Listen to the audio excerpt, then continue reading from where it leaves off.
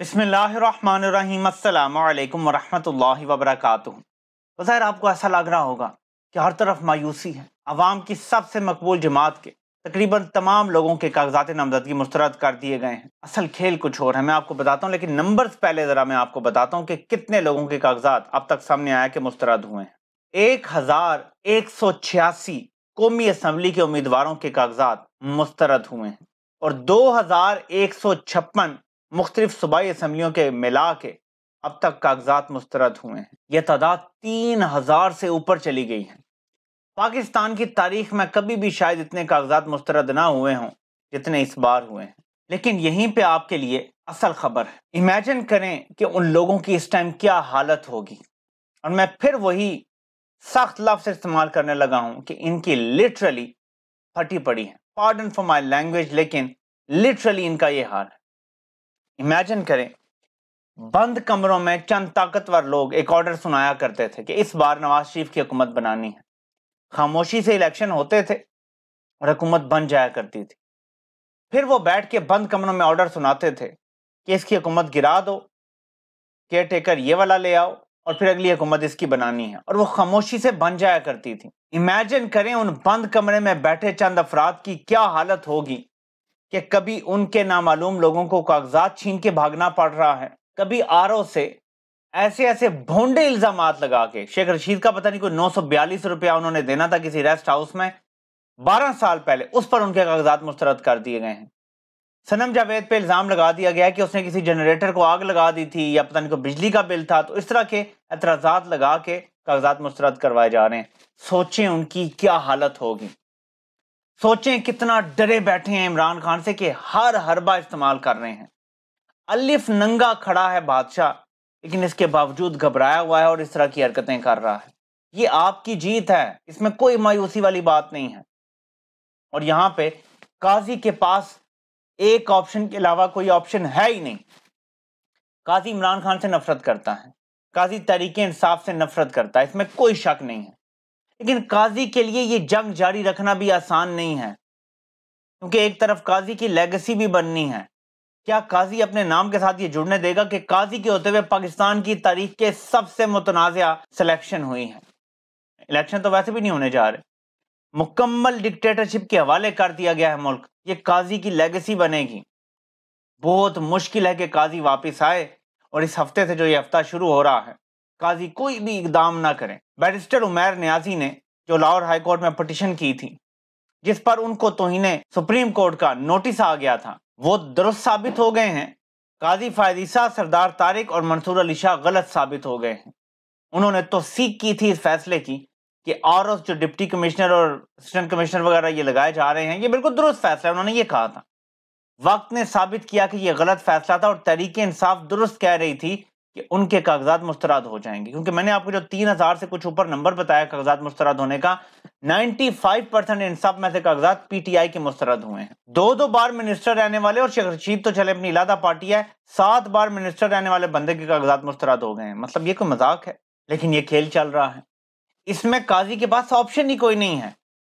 और एक खबर ये आ रही है कि इमरान खान ने कहा है कि वो एक एक बंदे के खुद कागजात देखकर, यानी सारा बायोडेटा देखकर, खुद टिकट अलॉट करेंगे। इमरान खान, इतना पूरा अतमाद है जेल के अंदर भी। कहीं तो ये भी बात आ रही थी, पता नहीं किसने ट्वीट किया हुआ था, किसी रिपोर्टर ने, कि इमरान खान ने कहा कि मैं फर्दन फर्दन साहब की खुद इंटरव्यू करूँगा। ये कुछ समझ नहीं आई बात। क्या वो एक्सपेक्ट कर रही हैं कि वो 10 जनवरी से पहले पहले रिहा हो जाएँगे? I don't know Imran Khan के जमानत के केसेस अगले हफ़्ते के लिए लगे हुए हैं।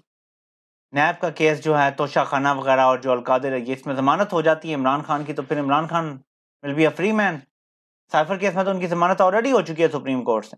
हो सकता है कि इमरान खान को ये उम्मीद हो कि मैं बाहर आ जाऊँगा। क्योंकि इमरान खान को थ्री एम के ऑर्डर के तहत तो नहीं करने देंगे। वो तो एकदम अदालत से जाएँगे तो उड़ाना पड़ जाएगा। वो तो मुमकिन नहीं रह जाएगा। अभी इस्लामाबाद हाई कोर्ट का उसके वाले से फैसला भी आया है कि ये गैर आइनी है ये जो करते हैं। तो उसके बाद फिर किसी भी अदालत के लिए ये फैसला देना और खासतौर पर रावलपिंडी में लाहौर हाई कोर्ट की जो अंडर है, बड़ा मुश्किल हो जाएगा। तो ये एक पॉजिटिव चीज़ भी आ सकती है। और फिर ये जो ट्रिब्यूनल्स हैं, इनमें ये जो कागजात मुस्तरद हुए हैं, मैं आपको बता रहा हूँ, सत्तर से अस्सी फ़ीसद तो इतने फ्रिवलस चार्जेस लगा के किए गए हैं कि इनका खड़े रहना नामुमकिन है। लेकिन इसमें एक और खेल खेला जा रहा है कि जो तहरीरी ऑर्डर है, वो जारी नहीं कर रहे आर कि हमने कागजात आपके मुस्तरद किए, क्योंकि अब मतलब जो अटेस्टेड कॉपी होती है, वो नहीं दी जा रही। वैसे तो फैसला है लोगों के पास अटेस्टेड कॉपी जो होती है वेरीफाइड वो नहीं दी जा रही। अब वो होती है तो फिर आप अपील करते हैं। तो वो भी हफ़्ता कल जो शुरू हो रहा है, उम्मीद है कि तमाम वकला हर जगह पे एक्टिव होंगे। आईएलएफ के वकला हैं बड़े बड़े सीनियर वकला हैं, वो सारे किए गए हैं। वो सब अपना अपना किरदार अदा करेंगे तस्दीक शुदा फैसले की नकुल हासिल करेंगे। और उसके बाद ट्रिब्यूनल्स में जब ये मामला जाएँगे तो सत्तर से अस्सी फ़ीसद लोगों के टिकट बहाल हो जाएँगे, यानी उनके कागजात बहाल हो जाएँगे नामजदगी के। उनके जो रिजेक्ट किए गए हैं वो फैसले कलदम करार दिए जाएँगे और फिर इलेक्शन होगा। और फिर अगले तकरीबन 10 से 15 दिन के अंदर अंदर बल्ले के निशान का मामला भी फाइनल हो जाएगा। मेरी छठी हिस्स ये कह रही हैं कि इन तमाम तर कोशों के बावजूद, जुल्म और जबर के बावजूद बल्ले के निशान को और तहरीक इंसाफ को इलेक्शन से बाहर रखना मुमकिन नहीं रह जाएगा। दबाव बढ़ता जाएगा और मैं बार बार ये भी याद दिला रहा हूँ आपको कि फाइनल किरदार काजी फायद ईसा का होगा। क्या वो इमरान खान से लड़ाई लड़ेगा या अपनी लेगेसी बनाएगा? यहाँ बात सिर्फ़ लेगेसी की रह गई है। यह बंदा सिर्फ़ एक साल के लिए चीफ जस्टिस बना था, तेरह माह के लिए। अब उसके पास टोटल नौ माह रह गए हैं। तीन महीने, पता ही नहीं चला और गुजर गए हैं। नौ महीने का चीफ जस्टिस ज़्यादा से ज़्यादा अपनी लेगेसी बना सकता है, क्योंकि इसके बाद उनको सेकंड कोई चांस नहीं मिलने वाला। और इमरान खान को ये जितना भी अरसा जेल में रख लें, मैं यकीन दिलाता हूँ कि अगर काजी के होते हुए इमरान खान बाहर नहीं भी आए तो ये तमाम केसेस काजी के रिटायर होते ही रद्दी की टोकरी में चले जाएँगे। तो इमरान खान तो जहाँ छह सात महीने जेल में गुजार चुके वो छह सात आठ और गुजार लेगा। मसला बाकी सब का है। वो जैसे मलकू ने कहा है ना अपने इंटरव्यू में, कि जो इमरान खान के साथ चला वो ऊपर चला गया और जिसने साथ छोड़ा वो बढ़ गया। इस वक्त जो भी इमरान खान के साथ खड़ा है, वो ऊपर जा रहा है और जो इमरान खान का मुखालिफ है, वो नीचे जा रहा है। जब इमरान खान रियासत मदीना की बात करते हैं ना कि एक ऐसी रियासत जो इंसानों का ख्याल रखे तो वो क्या कहते हैं, ये जरा सुने।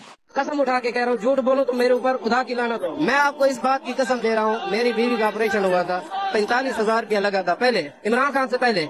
पैंतालीस हज़ार रुपया लगा था उस पर ऑपरेशन पे बड़ा ऑपरेशन हुआ था। कार्ड से पहले? सेहत कार्ड से पहले।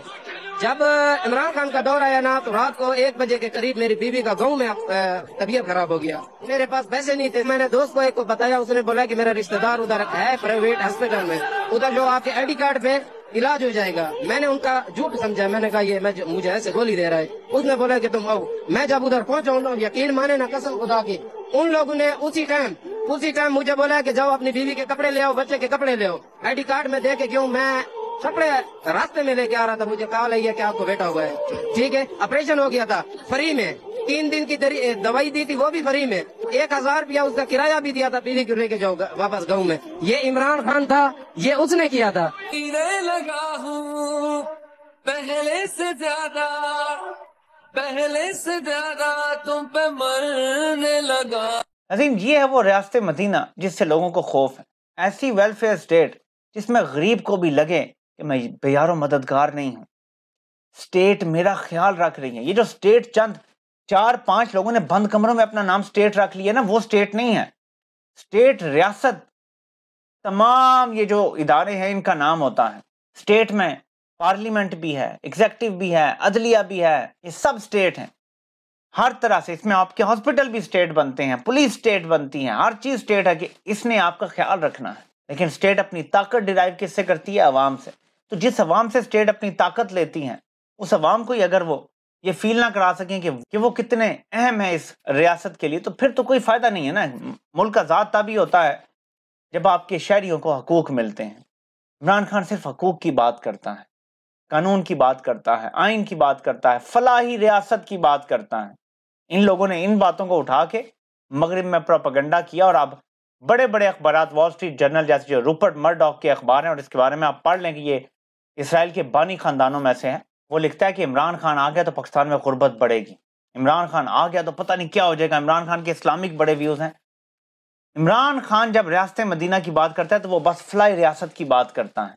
वो कानून की बालादस्ती की बात करता है। ये सोचते हैं कि इमरान खान लोगों के घरों में जाएगा, औरतों को दुपट्टे पहनाएगा मर्दों को दाड़ियाँ रखवाएगा, पांचे उनके टखनों से ऊपर करवा देगा और पता नहीं क्या ना क्या करेगा। दीन में तो सख्ती है ही नहीं। वो आपका जाती मामला है। इमरान खान फलाई रियासत की बात करता है कि हम वो रियासत मदीना से मॉडल लेंगे।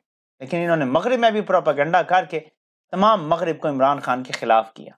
और आज तमाम जरीदे यही लिख रहे हैं मगरब के कि इमरान खान पाकिस्तान के लिए अच्छा नहीं है, वो रेडिकल है और वो ये है और वो है, वो इस्लामिस्ट है और इस तरह की बातें की जा रही हैं। दुनिया में जहाँ भी हैं अपने अल्फाज में ये हकायक, हर जगह बताएँ क्योंकि बात बड़े दूर तक जाती हैं।